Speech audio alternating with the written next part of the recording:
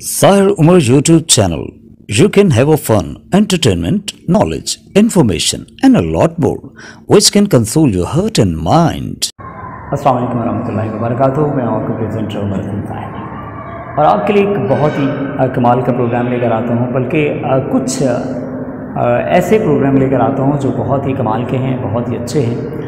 और सबसे पहला जो मेरा प्रोग्राम है वो इंग्लिश के हवाले से। इंग्लिश के हवाले से बहुत ही कमाल का प्रोग्राम है। Because I am teaching over there how we can talk in English and there is a very easy way uh, if you want to uh, learn the English I think that uh, very easy to understand very easy to learn and very easy to revise if you want to revise the tenses within a minute I can revise the tenses मैं uh, जो 12 के 12 tenses हैं मैं उनको एक minute में revise कर देता हूँ तो आप भी यकीनन आप एक दफ़ा ध्यान से पढ़ लें तो इन आई होप कि आप भी एक मिनट में टेंसेस को रिवाइज करेंगे और सारे के सारे टेंसेस आप बनाते चले जाएँगे सेंटेंसेस जो हैं वो आप बनाते चले जाएँगे। बहुत ही आसान तरीका है। मैंने आ, पहले टेंसेस करवाए प्रेजेंट इंडेफिनिट करवाया फिर पास्ट इंडेफिनिट सॉरी फिर प्रेजेंट कंटिन्यूस करवाया फिर प्रेजेंट परफेक्ट कंटिन्यूस और फिर प्रेजेंट परफेक्ट टेंस करवाया।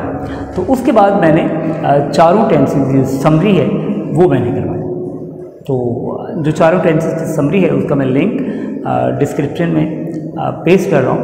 आप उसको दोबारा चेक कर सकते हैं और बहुत ही ईजी है just within seventeen minutes you can revise you can understand the four tenses of present उसके बाद आज के प्रोग्राम की बात करते हैं तो आज मैं आपके सामने हाजिर हूँ, आज की पहली के साथ। असल में काफ़ी देर से मैंने एक पहेली पूछी हुई थी, लेकिन सॉरोफुली एंड सैडली और मुझे बड़े अफसोस से ये कहना पड़ता है कि कोई एक कमेंट जो है, वो भी नहीं आया। यानी कि जो इल्म की बातें हैं, वो हम नहीं सीखना चाहते हैं। तो ये कैसे होगा, कैसे पॉसिबल होगा कि हम इल्म की बातों की तरफ़ रागिब हों और अपने हेड्स को हम यूटिलाइज़ करें, इनको इस्तेमाल करें, ताकि हमारा जहन जो है, वो जंग लगने से बच। सके हर बच्चा जो है, वो दूर भागता है स्टडी से और यकीन करें कि बहुत ही अफसोस होता है कि ये लॉकडाउन बहुत बहुत ये एक शॉकिंग किस्म का है वबा है एपिडेमिक है। तो इस पर भी जब बच्चों को दो महीने के बाद छुट्टी दी जाती है, यानी कि दो महीने सिर्फ़ एक महीना बच्चा पढ़ता है और फिर दो महीने की छुट्टी होती है, फिर एक महीने की छुट्टी होती है तो बच्चा क्या करता है ओह यस ज़बरदस्त। मतलब इतना खुश होता है यार छुट्टी पर और इतना दिल दहला देने वाली ये एपिडेमिक है, बीमारी है। लेकिन इसके बावजूद जो बच्चा है, उसको सिर्फ़ अपनी छुट्टी की पड़ी होती है और वो अपनी छुट्टी पर खुश हो जाता है। कितनी मतलब एक बैड एंड क्रिटिकल सिचुएशन कि बच्चे को हम पता नहीं बच्चों की तरबियत कैसे करें, बच्चे सही होंगे। मतलब बच्चों में एक जो एहसास ज़िम्मेदारी है, जो एक एहसास है, वो नहीं है। मैंने बहुत सारे एहतजाज देखे हैं, बहुत सारे कॉन्टेस्ट सॉरी बहुत सारे प्रोटेस्ट देखे तो उसमें भी लोग जो हैं, वो हंस रहे होते हैं पीछे खड़े होकर। तो this is a bad thing please हमें चाहिए कि हम अपने अंदर एहसास ज़िम्मेदारी हम पैदा करें। तो आज के प्रोग्राम की तरफ़ चलते हैं। आज का प्रोग्राम जो मेरा है, वो है आज की पहेली। तो एक पहेली का जवाब भी बताना है। बहुत देर से ये मैंने पूछी हुई है पहेली, लेकिन किसी ने कमेंट करके जवाब नहीं बताया। तो प्लीज़ मैंने तो कहा था कि बहुत ही इंटरटेनिंग किस्म की ये पहली थी, वज़ीर वाली जो पहली है, बहुत इंटरटेनिंग है। तो उसका जवाब मैंने आपको बताना है, लेकिन उससे पहले एक और छोटी सी पहली पूछूँगा। और बड़ी मज़े की है। तो बाहर जो है वो मौसम ख़राब हो रहा है आपको ये आवाज़ आ रही होगी, खिड़कियों की और ये चीज़ें चटकने की आवाज़ जो है वो आ रही होगी। तो बहुत ही प्यारा मौसम बना हुआ है बाहर। तो प्रोग्राम भी बहुत प्यारा है। तो आज की पहेली जो है, वो मैं आपसे पूछूँगा। एक ट्रक है, ट्रक, वो चल रहा है। आगे पुल आ जाता है और पुल जो है ना, वो ट्रक के ऊपर लोड है। ट्रक के ऊपर लोड है और बिल्कुल ट्रक जो है वो उसके बराबर आ रहा है, ऐसे। बिल्कुल बराबर आ रहा तो अब ट्रक ड्राइवर जो है, वो परेशान है कि यार अब ये ट्रक वापस भी नहीं जा सकता, जाना भी ज़रूरी है। तो पुल के नीचे से वो ट्रक को कैसे गुजारे? How can it be possible और लोड उतार नहीं सकता, क्योंकि अगर लोड उतारेगा तो हर चीज़ बिखर जाएगी। तो आपने ये बताना है कि ट्रक जो है, वो उस पुल के नीचे से कैसे गुजरेगा ये थी, आज की पहली। और आप सोचेंगे यकीन इन आई होप क्योंकि मैं तो पुर उम्मीद हूँ। मैं होपफुली कहता हूँ कि लोग इन ये मेरी पहलियाँ देखेंगे। आज नहीं तो कल ज़रूर देखेंगे। तो बहुत ही इंटरेस्टिंग पहली है, बहुत ही दिलचस्प पहली और बहुत ही मतलब एक थॉट प्रोवोकिंग किस्म की पहली है तो इसका जवाब दीजिएगा। लेकिन जो पिछली वज़ीर वाली पहली है उसका जवाब मैं आपको देने जा रहा हूँ। देखें आज मेरे पास कोई आ, नाम अनाउंस करने के लिए नहीं है क्योंकि किसी ने मुझे नहीं बताया कि उसने उस कुत्ते को कैसे मारा। वो पहली क्या थी?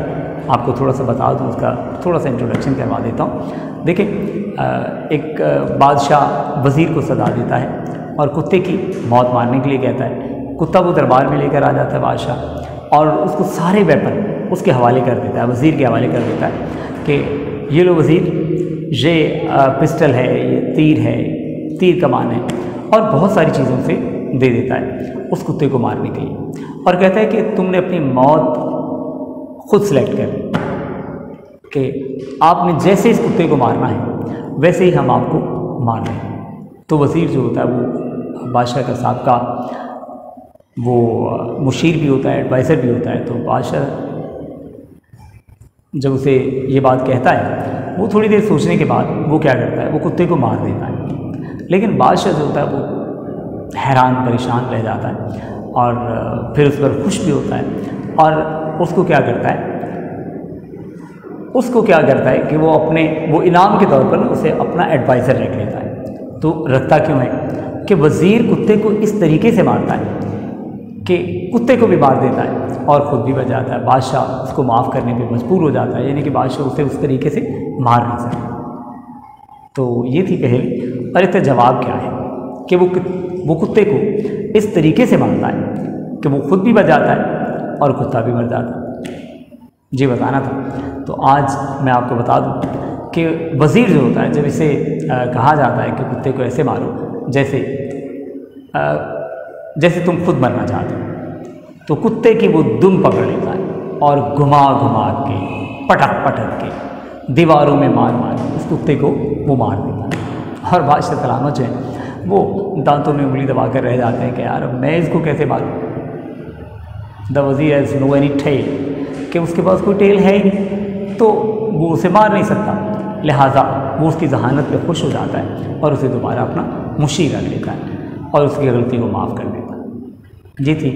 आ, पिछली ये था पिछली पहली का जवाब। और आई होप कि आपको पसंद आई होगी। ऐसी बहुत सारी पहेलियाँ सुनने के लिए मेरे चैनल को सब्सक्राइब कर लें और बेल के आइकन को प्रेस कर दें। इस तरह से हमारा जो है ये सिलसिला वीडियोस का सिलसिला भी चलता रहेगा।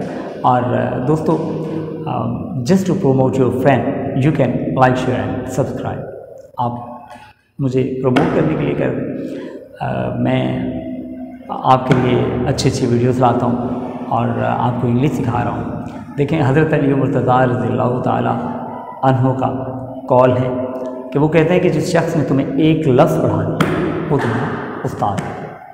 और मैं I am proud of myself कि मैं ये टीचिंग का जो काम है, वो कर रहा हूँ और मैं लोगों को पढ़ा रहा हूँ। आई होप कि आप मेरे चैनल को लाइक शेयर और सब्सक्राइब करेंगे और बेल के आइकन को भी प्रेस करें। क्योंकि मैंने आपको दो चार लफ्ज़ तो सिखाई होंगे ना यार। तो please respect your teacher and if you don't mind अगर आप ना समझे तो आपकी मर्ज़ी है लेकिन will have to understand this thing like share and subscribe अपना ख्याल रखिएगा। उमर हसन साहिर को दीजिए इजाज़त। Allah Thanks for watching. Like, share and subscribe. And do not forget to press the bell icon. And never miss an update.